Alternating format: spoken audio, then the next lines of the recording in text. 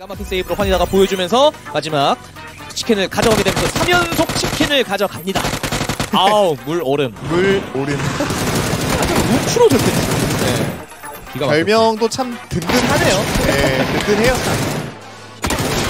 어 그리고 청각 선수의 저런 피킹도 상당히 좋았던 모습. 아, 아! 그리고 미키. 어떤 분께서 이 백마탄 왕자라고 표현을 해주시더라고요. 그렇죠. 이 라이딩 샷으로부터 시작되었었죠. 김건희 선수가 활약하긴 했지만 다나, 담원의 모든 병력들을 무너뜨리는 데는 무리가 있었고요. 키리도 놀면서 결국에 이제 발키리가 마무리 시키는 그런 모습이었습니다. 이제 그리고 VR로와 오제네 투수의 대결이었는데 여기서 인디고가 먼저 잘리고 시작했어요. 그리고 젠지가 참전합니다. 그렇습니다. 피오 선수의 이런 과감한 결단과 동선을 계속 칭찬해드리고 있는 입장이었었고요. 여기에서 길을 만들었었기 때문에 젠지가 앞으로 나아갈 수가 있었거든요. 맞습니다. 사실 여기를 무너뜨리지 못했으면은 젠지가 가고자 하는 곳은 이 언덕에서 쏠 수가 있었습니다. 네. 그리고 케일 선수가 마지막에서 기가, 막- 기가 막힌 샷을 보여주면서 3명 유지가 됐었던 야, 그리핀의 그런 어, 모습도 굉장히 좀 인상적이었어요. 식생이고 뭐고 그냥. 예.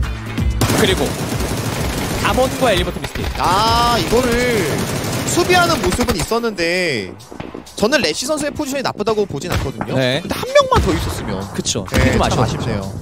그리고 환희다의 슈퍼 세이브. 보자 한번. 여기서 확킬 하나쯤은 날 줄 알았어요. 예.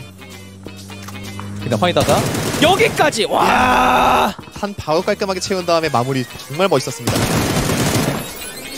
그리고 다나와와 판피씨가 막 물리고 젠지가 위에서 내려오고 한 펑! 2, 3초 안에 확실하게 끝내버리는 개멸시켜버렸죠? 네.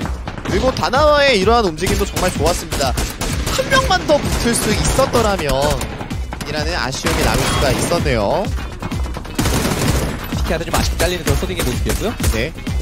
야, 이노닉. 거의 확실히 찍어가는 장면이었고요. 네. 이게 1대1을 이기니까 아군의 지원이 오기 전에 그냥 들어가는 모습이 참 인상 깊네요. 아, 여기 메모리가 있었네! 아, 메모리 여기서 지금! 아 근데 저기 좀 슬픈 장면이 있는 담겨있는 장, 아, 장소예요. 예. 마지막 언더도 저기서 끝났잖아요. 맞아요.